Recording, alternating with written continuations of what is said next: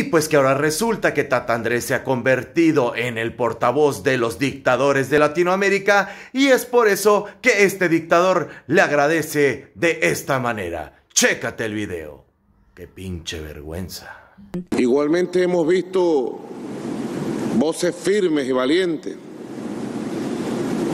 como la del presidente Andrés Manuel López Obrador, México, México lindo y querido,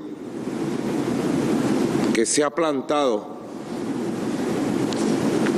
a levantar la voz de la verdad, de la moral, de la dignidad, de todo un continente.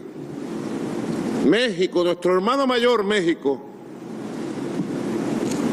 le agradecemos al presidente Andrés Manuel López Obrador por ir al frente de esta jornada en defensa de la verdad, de la unión, de la confraternidad, del debate democrático y en contra de la exclusión.